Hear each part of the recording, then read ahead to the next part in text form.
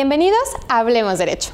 El día de hoy analizaremos con nuestros expertos el tema de pensión alimenticia, en el cual abordaremos diferentes aspectos, entre los que se destacan las personas que tienen derecho a reclamar su pago, los responsables de otorgarlo, así como los requisitos y elementos que se consideran para poder fijar el importe correspondiente, los tipos de pensión alimenticia y el procedimiento que regula nuestra legislación en el estado de Aguascalientes, así como las sanciones para aquellos que las incumplen.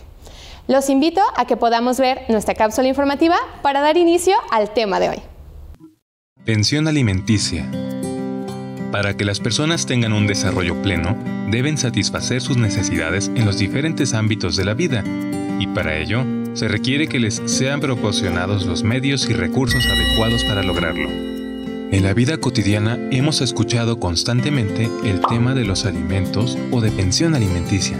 Sin embargo, dicho concepto incluye múltiples aspectos además de la propia comida, y la legislación que la regula prevé otros rubros importantes, tales como los supuestos en los que puede solicitarse, las personas que se encuentren obligadas a proporcionarla, los principios o criterios que se consideran para poder determinarla, ya sea de común acuerdo o vía judicial, así como el procedimiento legal para realizarla. Dada la relevancia del tema, es necesario que el público tenga conocimiento de ello, para que esté en posibilidad de poder hacer efectivo su derecho. En virtud de la cantidad de casos en los que legalmente se solicita o demanda el otorgamiento o pago de una pensión alimenticia en el Estado, el Poder Judicial de Aguascalientes cuenta con una unidad receptora de solicitudes de pensión alimenticia, para el efecto de recibir peticiones verbales y proporcionar agilidad a la tramitación, sin que ello sea impedimento para que la solicitud de pensión alimenticia pueda realizarse mediante escrito. Cabe mencionar que por la naturaleza de los alimentos, estos deben proporcionarse de manera constante para satisfacer las necesidades de las personas que lo soliciten, y legalmente existe la posibilidad de demandar pensión alimenticia de manera retroactiva, en caso de que las personas obligadas a proporcionarla hayan sido omisas. Los invitamos a quedarse con nosotros hoy en Hablemos Derecho para que conozca los supuestos en los que puede solicitarse pensión alimenticia, los requisitos legales y documentos que se requieren para realizar la solicitud, así como el procedimiento legal mediante el cual se establece el importe a pagar por concepto de alimentos. Quédense con nosotros aquí en Hablemos Derecho. Gracias por haber analizado nuestra cápsula informativa. Para poder iniciar con el desarrollo de nuestro tema, me permito presentarles a las expertas que nos acompañan el día de hoy. Por un lado, la doctora María Guadalupe Márquez Algara y Marlene Gutiérrez Muñoz, con quienes estaremos participando y analizando el tema de pensión alimenticia. Gracias por su participación y por estar con nosotros el día de hoy.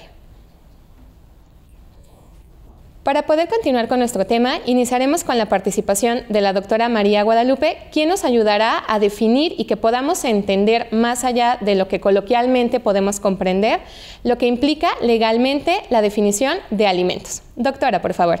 Muchas gracias. Buenos días a todos. Agradezco la invitación para participar en este programa porque es un proyecto muy interesante que nos va a acercar a los académicos y a los alumnos a la sociedad hidrocálida. Es un proyecto innovador eh, que surge eh, gracias a la iniciativa de nuestro jefe del, del departamento, el doctor Eloy Morales Brand. Y bueno, estamos aquí para responder a, las preguntas que tenga el público presente y todos ustedes allá en su casa sobre los alimentos. Eh, quiero decirles que los alimentos es una de las instituciones mejor reguladas en nuestro Código Civil. Hay 89 artículos que hacen referencia a esta figura, pero hay específicamente un capítulo que se refiere a los alimentos. Dentro del Código Civil, en el título sexto, en el capítulo tercero, se refiere a los alimentos. Muchas personas nos preguntan, ¿qué son los alimentos? Y qué bueno que me das la oportunidad de explicárselos, porque podría pensarse que los alimentos son únicamente la comida eh, que necesitamos los humanos, pero la institución de los alimentos en derecho de familia constituye una de las principales consecuencias del parentesco, del matrimonio, incluso en casos de divorcio y de la adopción. Y es una institución que refleja la solidaridad humana, eh, este derecho humano que tenemos todos a vivir con dignidad y que comprende sí, como dice su, enunciativo, eh, los alimentos, la comida que necesitamos los seres humanos, pero es un concepto mucho más amplio, que comprende también la habitación, el vestido, que comprende eh, en los casos de, menores eh, también la educación, y nos habla el código de la educación preescolar, de la educación primaria, de la educación secundaria, de la educación eh, media superior e incluso de brindarles a, nuestros hijos, a los menores, una educación profesional o un oficio decoroso con el que puedan ganarse ellos la vida. Vean entonces la amplitud de este concepto. Eh, también es importante hablar eh, de la adopción. Eh, la adopción es un medio por el cual unas personas, una pareja, se compromete a ejercitar la patria potestad con respecto a un menor que no es su descendiente directo, pero que ellos quieren verlo, visualizarlo como tal. Y entonces en estos casos, este menor adquiere el derecho a alimentos en todo este contexto que hemos visto. Pero también hablemos de las personas con discapacidad, que nos interesa mucho eh, resaltar las características. La obligación alimentaria también se crea con relación a las personas con discapacidad. Ellos pueden solicitar una pensión alimentaria y esta pensión incluye todo lo que hemos eh, hecho referencia, alimentos, vestido, habitación, e incluso la ley también nos habla de recreación. Fíjense qué importante. Y para las personas que tienen capacidades diferentes, brindarles los elementos para que puedan reincorporarse a la vida social. Bueno, aquí vemos ya la amplitud de esta, de esta figura y también hablemos de las personas de la tercera edad.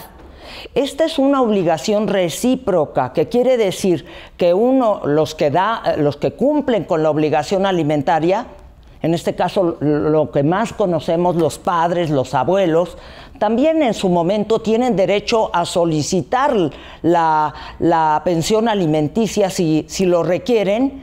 Y el código establece que además de los servicios geriátricos, eh, las personas de la tercera edad deben contar con todo esto, con la amplitud de concepto a la que, hemos hecho referencia, pero también eh, puede cumplirse con esta función incorporando a las personas de la tercera edad a nuestro hogar.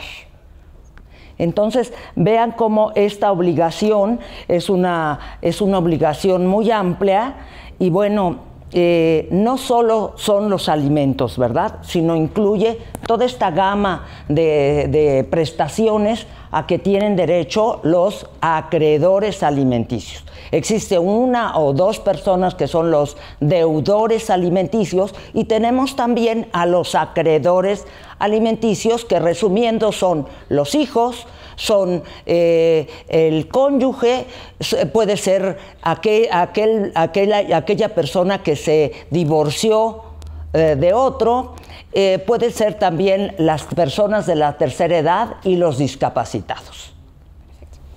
Gracias a la doctora Márquez por eh, hacer esta excelente distinción y precisión de lo que corresponden efectivamente los alimentos, así como las personas que tienen derecho a recibir y a exigirlos.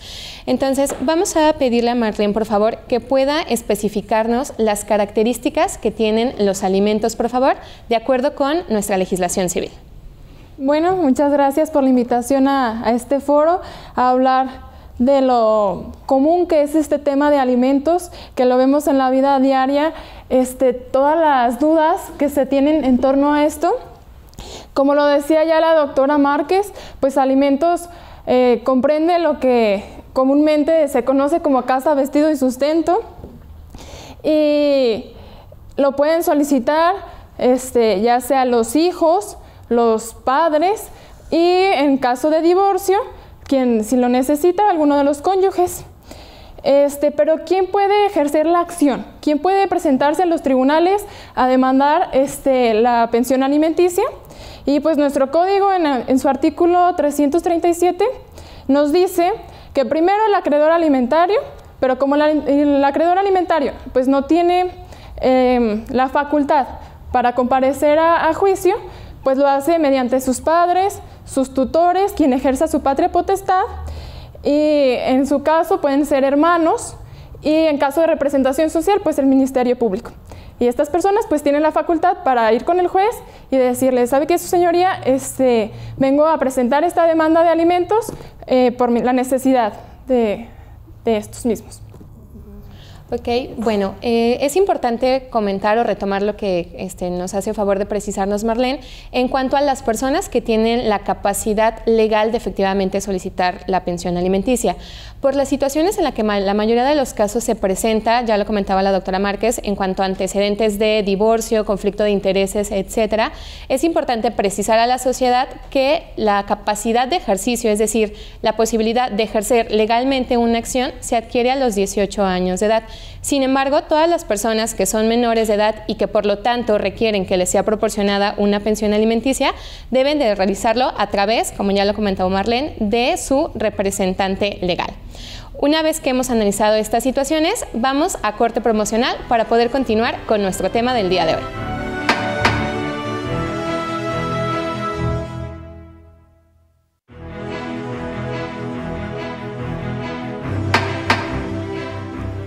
Para que una persona logre desarrollarse adecuadamente es necesario satisfacer sus necesidades básicas, tales como la alimentación. Para ello necesita contar con los recursos adecuados para obtenerlas. Así que hoy preguntaremos a la gente sobre la pensión alimenticia. ¿Qué es la pensión alimenticia? La verdad desconozco el tema. Mm, pues es un apoyo para las personas mayores más que nada. Bueno, depende de la pensión que, que se esté de las que estemos hablando, de hijos de, esposa o de adultos mayores. La pensión alimenticia es lo que aporta el, hombre a la, dama, a la persona, para el sustento del, del, niño o de los niños. ¿Quién está obligado a darla? Ah, pues el gobierno, ¿no? Los nutriólogos. Pues así como obligación dependiendo también si son los padres, igual hasta el gobierno con los, eh, con los nuevos eh, apoyos que están sacando, los nuevos programas más bien para apoyo. Pues en mi caso, mi, pues mi esposo es de la obligación. En caso de que esté enferma o algo, pues uno les puede ayudar. ¿Sabe qué documentos se necesitan para solicitarla? Claro, yo pienso que lo que se necesita es los documentos que los ampara que, que fueron este, ellos casados. En este caso, eh, los, este, sacar los documentos del registro civil, donde los dos un día contrajeron este matrimonio y por alguna razón están separados. No desconozco la situación. ¿Sabe qué abarca la pensión alimenticia? Me supongo que la pensión alimenticia abarca para el niño eh, este, una cierta cantidad de dinero que cubra eh, la alimentación, el vestido y eh, los gastos para este, en caso de que el bebé se, se, enferme. Alimentación, calzado, vestido, todo lo que se ocupa en la casa. ¿Cuál es la finalidad de esta? Pues yo imagino que, aunque no conozco pues acerca del tema, pero yo imagino que, que al menos ofrecer a las personas a lo mejor necesitadas, ancianas, este, ofrecer pues una básica alimentación junto con algunas medicinas. Eh, pues tener una mejor calidad de vida. Si es para los viejitos, pues ellos ya no pueden eh, trabajar, ya no pueden pues hacer muchas cosas. Y si es para los hijos, pues el padre o la madre en su caso, pues para que vivan bien. La pensión alimenticia es un derecho que todos los seres humanos tenemos y debemos de exigir, así que te invito a que sigas con nosotros para que sepas más del mismo. Como pudimos observar en nuestra cápsula informativa, del sondeo que se realizó a la sociedad específicamente en el centro de la ciudad, notamos el disgusto o hasta cierto punto la desinformación o la falta de conocimiento respecto de este tema de pensión alimenticia, motivo por el cual es importante que lo abordemos el día de hoy para que la sociedad conozca sus derechos y la manera en que puede hacerlos exigibles ante un tribunal de manera específica. Existen muchísimas dudas al respecto en cuanto al monto que nos deben de proporcionar la periodicidad y efectivamente quién está obligado a hacerlos en caso de situaciones específicas que retomaremos a continuación. Para ello, le solicitamos a la doctora Márquez que pueda precisarnos, por favor, respecto de las características de la pensión alimenticia. Doctora, por favor. Sí, como no, muchas gracias. Bueno, ¿cuáles son las características de la obligación alimentaria? Bueno, eh, queremos señalar que la primera característica es que es una obligación recíproca. ¿Qué quiere decir esto? Que el que otorga los alimentos, el que cumple con el pago de su pensión alimentaria, tiene a su vez el derecho de solicitar en su momento, cuando ha llegado a la tercera edad, también una pensión alimentaria por parte de sus descendientes. Esto no se toma en cuenta, ¿verdad? Pero eh, generalmente identificamos el pedir o solicitar una pensión alimentaria con que son los hijos los que piden la pensión a sus padres. Y sí, en, gran, en un gran número de casos esto es lo que sucede pero también los padres en su debido momento, si carecen de bienes, pueden ellos solicitar una pensión alimentaria, porque esto es, la pensión alimentaria es recíproca. ¿Depende de qué? Depende de las posibilidades que tiene el deudor alimentario y depende de las necesidades que tiene el acreedor alimentario. Entonces, esta es la primera de las características. Pero también eh, nos encontramos con que la pensión alimenticia es personal. O sea, es un derecho personalísimo. Solo aquellos a quienes faculta expresamente el código pueden, pueden demandarla. Es intransferible, no se puede transferir esta, esta obligación, ni, ni, se puede embargar, es inembargable, también es imprescriptible, no prescribe. ¿Qué quiere decir eso? ¿Qué es la prescripción? La prescripción es adquirir derechos o librarnos de obligaciones por el transcurso del tiempo. Entonces, cuando, cuando un deudor alimentario tiene una deuda con su acreedor y transcurre el tiempo y el acreedor no la solicita, no por eso se pierde ese derecho. A lo mejor podrá haber cierto acuerdo en relación con las pensiones atrasadas, pero la pensión no se puede llegar a ningún acuerdo, ¿verdad? Eh, no se puede, no puedo yo renunciar a ese derecho que la ley me, otorga. Eh, también, decíamos, es proporcional. Eh, la, pensión depende de las condiciones económicas de quien la va a cubrir y de las necesidades de quien la solicita. ¿Verdad? Si eh, el hombre más rico del mundo se le solicita una pensión alimentaria, claro que va a ser diferente el monto que deberá cubrir él a el monto que deberá cubrir un trabajador normal. Bueno, también la pensión eh, es eh, eh, preferente a cualquier otro tipo de deuda, porque recuerden que la pensión se establece para que el acreedor alimentario pueda subsistir. O sea, no podemos pagar otras deudas que tenga el acreedor sin considerar que la pensión alimentaria, de la pensión alimentaria depende la vida de los, de los menores o de los ancianos o de los incapacitados. Eh, tampoco es renunciable, ¿verdad? Y otra de las características es que sus efectos se prolongan en el tiempo. ¿Qué quiere decir esto? Que los efectos de la pensión se dan desde el momento en que nace una, una persona, un menor, eh, si hay un embarazo de, este menor o niña o, eh, durante esta edad, también el, acreedor alimentario, los padres, tienen que cubrir los gastos del embarazo y del parto, que eso es muy importante. Pero la obligación se prolonga hasta cuándo? Hasta que eh, los menores dejan de necesitar esta, esta pensión o bien si ellos comprueban que están estudiando hasta los 25 años, ¿verdad? Entonces vean que esta es una obligación que cuyos efectos se prolongan en el tiempo. Agradecemos a la doctora. Dentro de las especificaciones es importante eh, retomar la cuestión de la imprescriptibilidad.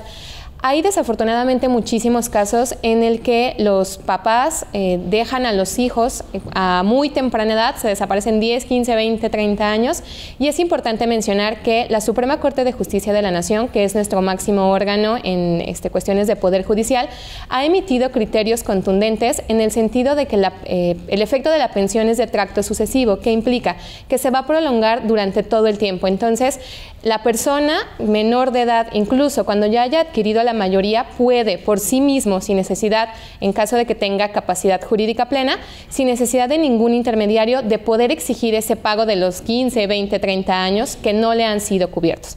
Esa es una situación muy importante porque se da con muchísima frecuencia dentro de nuestra población e incluso nuestro Supremo Tribunal ha emitido criterios que es posible cobrar hasta cierto punto algún porcentaje en cuanto a cobro de intereses. Es importante también señalar la cuestión de la reciprocidad. ¿Qué implica? Recordemos que la vida es un ciclo, entonces, mientras nosotros somos pequeños, nuestros papás son los responsables de satisfacer nuestras necesidades y en algún momento este ciclo de la vida nos va a llegar y los papeles van a invertirse. Por eso la importancia de que tengamos conocimiento de la situación. Entonces, una vez analizada las características que la doctora Márquez muy amablemente nos comentó, procederemos a analizar el tema de pensión provisional y pensión definitiva. Esto es muy importante en virtud de que los procedimientos que se realizan deben de tener durante toda la tramitación del juicio el menor, el incapacitado o la persona que lo esté realizando algún tipo de apoyo. Entonces, Marlene, ¿nos apoyas por favor con la pensión provisional? Sí, claro, mira, este, durante la etapa de, pensión alimenticia se puede dividir, eh, no podemos dejar en estado de indefensión a los menores, como lo comentabas, pues tienen la necesidad de comer. Entonces, este, el juez dicta una sentencia de mm, alimentos provisional que eso le da la posibilidad al menor que durante el procedimiento, que dure el, bueno, el tiempo que dure el procedimiento, perdón, él pueda percibir este, una pensión alimenticia y no deje este, de hacerlo. Es muy importante recalcar que no necesariamente la pensión provisional va a ser igual a la pensión definitiva porque la pensión provisional la fija el juez antes de tener este, audiencia con el deudor alimentario, con quien la va a pagar. Y ya la pensión definitiva la van a, fijar ya cuando haya este, medios de prueba, cuando se desahoguen las pruebas y el juez ya, pueda tener una percepción de cuánto puede este, otorgar este, este deudor alimentario a la pensión. Porque es importante recalcar, recalcar perdón, que es proporcional a los ingresos del deudor y a las necesidades del acreedor. Entonces ya teniendo estas pruebas, el juez puede este, ver realmente eh, cuánto es el monto de pensión alimenticia que debe darle al menor o al, acreedor alimentario. Es por eso que hay estos dos tipos de pensión, la provisional y la definitiva. La provisional que va a ser la que el juez dicte este, para cumplir con los alimentos durante el tiempo que dure el juicio y la definitiva ya con una sentencia. Y realmente eso es lo que comprenden estas dos. Agradecemos a Marlene su participación y vamos a un corte promocional.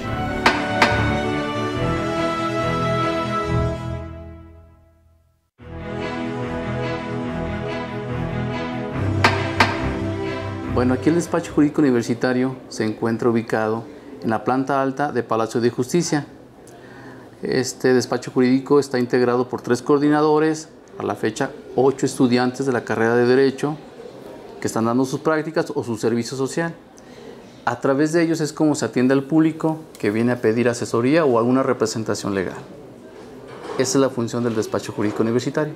A la fecha ha dado 2.283 asesorías, lo que va de este año, al día de hoy. De esas 2.283 asesorías, 95 han sido sobre cuestiones alimentarias ya sea que se demande una pensión, que se demande una reducción de la pensión, o un aumento de la pensión, o una cesación de la pensión. Los alimentos comprende la comida, el vestido, la habitación, así como la atención médica y hospitalaria, y en su caso los gastos de embarazo y parto. Pero tratándose de menores de edad, los alimentos no nada más comprende lo que le acabo de decir, sino también comprende lo que viene siendo los gastos necesarios para un pleno desarrollo del menor, así como su educación. Si son alimentos para la mujer y esta mujer está casada, o alimentos incluso para el hombre y está casado, pues se requiere el acta de matrimonio, precisamente para acreditar que existe un vínculo entre las, entre las personas del cual se va a demandar alimentos a la otra parte. Incluso los que están en concubinato tienen derecho también a una pensión alimenticia. Si se requiere alimentos para menores, se va a requerir el acta de nacimiento de los menores para acreditar esa afiliación. Los alimentos también se otorgan para los, las personas que están en estado de interdicción, para incapaces. Entonces se va a requerir un elemento más que vendrá, siendo la resolución judicial donde se determine que esta persona tiene un grado de incapacidad. Para las personas adultas mayores también tienen derecho a alimentos. Si lo va a pedir un adulto, pues así como él estuvo aportando alimentos a los hijos, pues ahora ella o el adulto puede pedir también alimentos de los hijos para ella. Aquí se, se va a acreditar con el acta de nacimiento. Ahí viene el nombre del obligado, que es el hijo en este caso, y el nombre de la madre o del padre. También tienen derecho a pedir alimentos el, adoptado, el que fue adoptado. Entonces sería el acta, el, acta de, de adopción que vendría siendo ya el acta de nacimiento del menor, donde aparece el nombre del adoptante. Se acude aquí al despacho jurídico universitario, nosotros elaboramos la demanda y se radica en alguno de los cuatro juzgados familiares que tenemos aquí. Hay una, un área de atención especial que es por comparecencia, que está en el Centro de Justicia para Mujeres, planta alta. Ahí basta con que la persona interesada acuda, en este caso la, la madre, el padre, acuda y por comparecencia se toma la, demanda, la, voluntad de, solicitar alimentos y en ese momento esa área de comparecencia turna el acta que se levanta o la demanda que se levanta al juzgado quinto familiar y este de oficio comienza a integrar, integrar el expediente para poder determinar una pensión alimenticia. Incluso la mayoría de edad por sí misma no cesa la obligación de dar alimentos.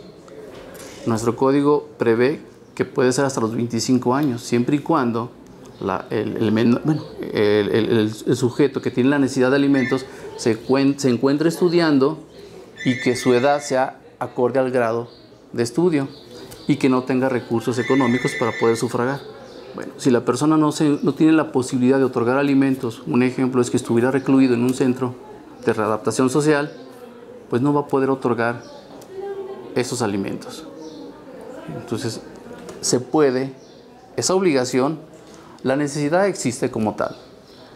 La obligación, en este caso del padre, que fuera el ejemplo que estuviera recluido, no se le va a poder exigir, pero se puede exigir al abuelo paterno, al abuelo materno, incluso a los parientes colaterales, a los hermanos mismos del necesitado alimentario. Bueno, pues yo los invito a que acudan aquí al despacho jurídico universitario. Tienen las puertas abiertas. El horario de atención al público es de 8 a 2 de la tarde. Nada más que para cuando es por vez primera, sí les pedimos que deben ser de las primeras 10 personas cuando se abra el registro. El registro se hace aproximadamente de 8 a 8 a 10 de la mañana. Y si son de las 10 primeras, adelante. Cualquier duda que tengan, por favor nos pueden plantear, no tiene ningún costo. La, la representación en su caso, ya manejamos algunas cuotas de recuperación que en su momento se les hace ver, previo estudio socioeconómico que se hace al respecto. Una vez analizada la testimonial que nos hizo favor de brindarnos el licenciado Jaime Rangel sobre los casos que atienden esta situación el despacho jurídico de la universidad, las personas que con mayor frecuencia acuden a ellos y los servicios jurídicos que en general brinda a nuestra sociedad el despacho universitario, nuestra acompañante el día de hoy, Marlene, nos comentará sobre su experiencia profesional en la intervención del despacho jurídico. Marlene, por favor. Hola. Este, mira, el despacho jurídico de la es una herramienta que tenemos los, los estudiantes de esta universidad para acrecentar y potencializar nuestros conocimientos de una manera este, muy práctica. Cuando tú llegas al despacho, que normalmente es en sexto semestre, que ya puedes empezar a hacer lo que es eh, servicio social y prácticas profesionales, eh, llegas de primera mano, tienes los casos porque tú este, das asesorías, y la gente llega y te dice, oye, eh, lo que pasa que tengo cierta necesidad, engloba bastantes materias y bastantes casos, divorcios, pensiones alimenticias, cuestiones civiles, este, y, nosotros podemos acrecentar nuestros conocimientos hacia la práctica. Todo estudiante que quiera, en, cuando sea graduado, dedicarse a, ejercer la, abogacía, no irse, bueno, también puede ser un antecedente para si te quieres ser, dedicar al Poder Judicial, pero como abogado litigante que quieres ser, es muy importante que busques una institución como despacho jurídico universitario para que puedas entender más o menos cuando te enfrentas a la vida real de un abogado que llegue el cliente y que te diga, tengo un problema y no sé cómo solucionarlo, y decirle, ¿sabes qué? Mira, y explicarle conjunto a su caso, porque todos los casos son diferentes y luego te puedes imaginar este, todas las problemáticas sociales tan diferentes que, que luego ni en sueños nos imaginamos que, existen. Y esto te da la oportunidad de adentrarte a, la sociedad con sus problemas y en un futuro, cuando te gradúes, entrar como abogado litigante y tener toda esa experiencia que te da que es muy, muy enriquecedor. Este, quien pueda, si algunos alumnos de, la carrera nos ven y tengan la oportunidad de hacer su servicio social o sus prácticas profesionales en el despacho jurídico de la universidad, tengan este, por garantizado que de ahí van a salir con una experiencia que, no puedes tener en cualquier otro lugar. Y qué mejor que la universidad, si te está dando estos medios, aprovecharlos. Y, realmente es, es, lo que podemos decir. Me imagino que el, licenciado Jaime Rangel eh, en su cápsula ya mencionó pues todo lo que se hace en este despacho y, y, realmente pues donde se ubica en Palacio de Justicia. Es importante resaltar que ninguna otra universidad tiene un despacho en Palacio de Justicia y no puede tener este, el acceso de manera tan fácil como nosotros. Entonces hay que aprovechar lo que se nos da. Muchas gracias, Marlene. Es importante destacar que nuestra universidad ejerce una loable labor eh, a través del despacho jurídico universitario y es la manera en que tenemos nosotros de devolver a la sociedad todo aquello que nos ha brindado para que podamos continuar con nuestros estudios y realizar la formación humanista por la que se caracteriza nuestra universidad. Es importante que mencionemos la situación del monto de pensión alimenticia en virtud de que, como la doctora Márquez ya nos comentaba, se rige a través del principio de proporcionalidad. ¿Qué es esto? Atendiendo a las necesidades de quien debe proporcionarlo y aquel del que debe recibirlas. En este caso, vamos a abordar con la doctora Márquez las situaciones o los requisitos que se consideran para poder establecer el importe correspondiente que debe ser otorgado como pensión alimenticia. Doctora, por favor. Sí, cómo no. Una de las inquietudes mayores de las personas que van a interponer un juicio sobre pensión alimentaria es ¿a cuánto asciende la pensión alimentaria? Ya hemos dicho que en esta materia es muy importante la, consideración de los jueces de las características tanto del deudor alimentario, cuáles son sus posibilidades reales, como del acreedor alimentario, cuáles son sus necesidades. Y entonces el juez, analizando con cuidado cada una de, estas situaciones, determina el monto de la pensión. Y aquí es importante que, bueno, cada caso es diferente, pero sí hay ciertos parámetros para determinar el mínimo y el máximo de una pensión. Eh, como decíamos, si una persona gana el salario mínimo y tiene un solo hijo, bueno, pues evidentemente e, este, el monto de la pensión fluctuará entre el 25 y el 30% de sus ingresos. Pero si tiene un salario más alto, si tiene más hijos, cuatro o cinco hijos, evidentemente el monto de la pensión que le fijará el juez será mucho más alto, pudiendo llegar a un 50% de sus ingresos. Eh, también es importante considerar que eh, una forma de cumplimiento de la obligación alimentaria es incorporando a los acreedores a, su, hogar. Y entonces, bueno, pues ahí ya no habrá una, un monto eh, enumerario que fije el juez, ¿verdad? Pero sí, los parámetros son entre un 25% y un 50%, hasta un 50%, dependiendo de las características del caso concreto.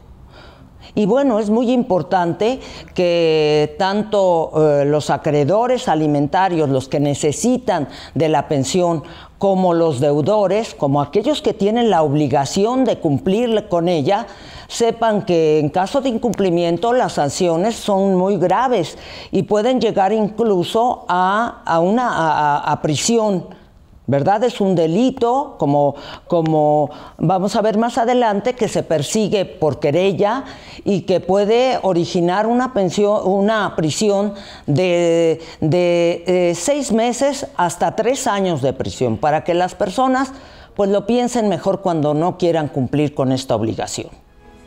Gracias, doctora, por su participación. Vamos a un corte promocional.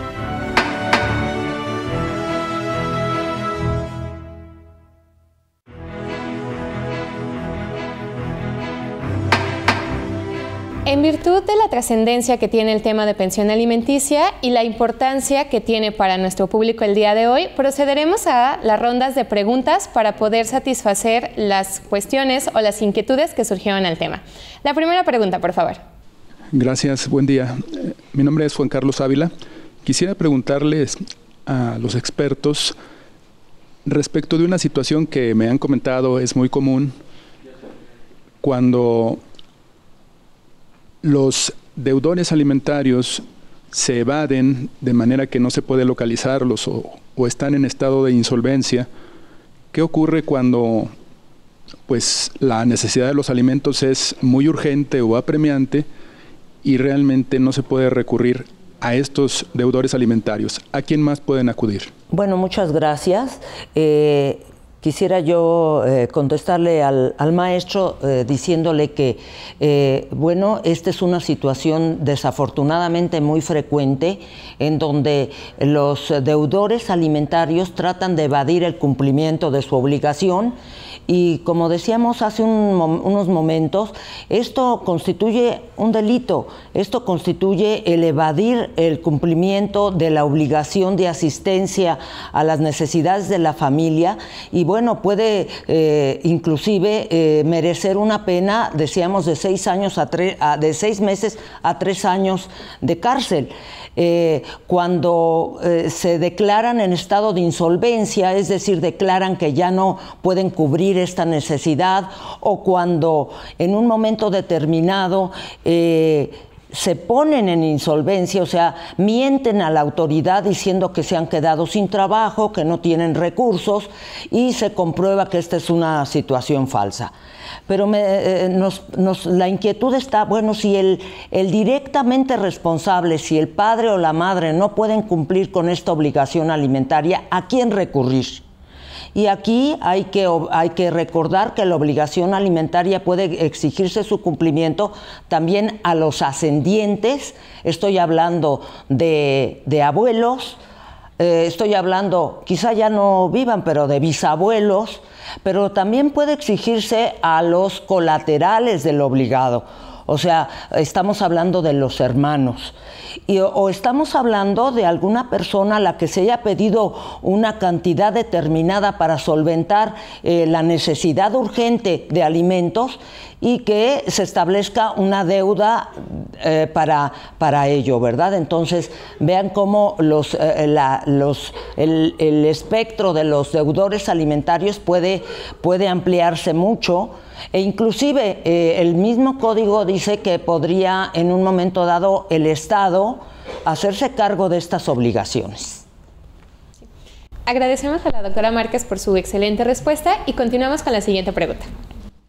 Hola, mi nombre es Itzel Jimena y mi pregunta es cómo se fija el derecho a alimentos en caso de, para los cónyuges en caso de divorcio. Eh, pues mira, eh, te, respondo.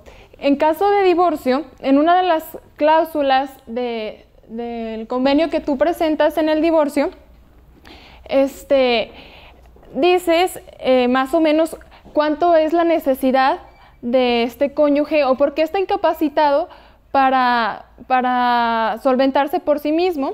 Entonces es cuando entra la responsabilidad del otro cónyuge de darle eh, alimentos. Puede ser en caso de que esté enferma o que no pueda trabajar por X o, Y razones y por eso no, podemos decir exactamente cuánto es el monto que se le tiene que dar al, al cónyuge que lo solicita, porque es igual como la obligación de alimentos, proporcional a las necesidades del acreedor y proporcional a los ingresos del deudor. Entonces, una cantidad líquida o un porcentaje, pues no podríamos decir, pero sí es un derecho que puede pedir un cónyuge en el convenio de divorcio y que si no se ponen de acuerdo este, y el juez eh, dicta sentencia y, da fecha para audiencia para que se, se, pongan de acuerdo respecto a estas cláusulas que, que no están de acuerdo y si tampoco en esta audiencia se ponen de acuerdo, te vas por un incidente de alimentos y se hace como un juicio como si fueras hijo de, esta persona, de tu cónyuge. Entonces, realmente es exactamente lo mismo. Gracias, Marlene, por tu respuesta. Siguiente pregunta, por favor. Bueno, este, mi nombre es Daniela Patiño y mi pregunta es ¿cómo se reparte la obligación alimentaria cuando existen varios ah, acreedores alimenticios? Bueno, aquí es muy importante señalar que puede haber multiplicidad de acreedores y de deudores. Eh, generalmente los eh, deudores son los progenitores, los papás, si, y la obligación les corresponde a ambos. El juez va a determinar en qué proporción los padres deben contribuir a de acuerdo con sus ingresos, con su, con su eh, patrimonio, deben de, cumplir esta obligación alimentaria. Entonces, los, los padres, en primer lugar, y, bueno, también depende del número de, acreedores alimentarios. No es lo mismo si se tienen dos hijos a si se tienen cuatro o cinco. En algunas familias pues hasta más, ¿verdad? Entonces, pero los hijos tienen el derecho, tienen el mismo derecho de solicitar la pensión alimentaria en los términos a que hemos hecho referencia a sus progenitores. En primer lugar, a sus padres. En segundo lugar, pues a sus abuelos. Y, así a, sus, eh, a, sus, hermanos también. Entonces vamos a, ver eh, que esta obligación pues depende de las características específicas que tengan los, tanto los acreedores, papá y mamá en un principio, abuelos en, el siguiente, o y los deudores, ¿verdad? Este, y, los, y los hijos, diríamos, ¿verdad? Los hijos también eh, depende del número y de la condición de cada uno de ellos, eh, la cantidad que el juez va a fijar como pensión. Muchas gracias, doctora. Siguiente pregunta, por favor. Eh, buenas tardes, yo soy Diego Gerardo. Mi pregunta es, ¿cómo se determina cuando un acreedor ya no lo es más? Es decir, o sea, cuando ya, em, o sea, ya no necesita de la pensión. Eh, bueno, se determina en sí en dos supuestos, que su necesidad puede ser hasta los 25 años mientras siga estudiando de manera interrumpida. Si deja de estudiar por uno o dos o tres años, pues eh, ya pueden pedir la suspensión de, los alimentos si es mayor de edad. Este, mm, es una obligación y un derecho irrenunciable, como lo decía la, doctora Márquez. Mientras tenga los, eh, sea menor de edad, él tiene el derecho, aunque pueda tenga la capacidad económica, porque luego pasa mucho que si viven con la mamá y la mamá tiene una mm, capacidad económica eh, bastante buena y no necesita de la pensión del papá, pero es un derecho este, irrenunciable, entonces tienen que dar este, proporcional eh, esta pensión. Podemos decir que no lo necesita cuando él ya empieza a trabajar, pero pues un menor de edad, según nuestros códigos, pues no puede trabajar me parece que de los 17 años en, adelante ya puede hacerlo, pero antes no. Entonces, antes de esa edad va a seguir este, necesitando esta, esta obligación de alimentos y ya después, si trabaja y puede solventar sus gastos por sí mismo, ya no es necesario este, seguir exigiendo esta obligación y se presenta un, un, oficio, un oficio no, un escrito, donde se pide que se extinga la obligación de alimentos porque ya tiene la capacidad económica para subsidiar sus gastos.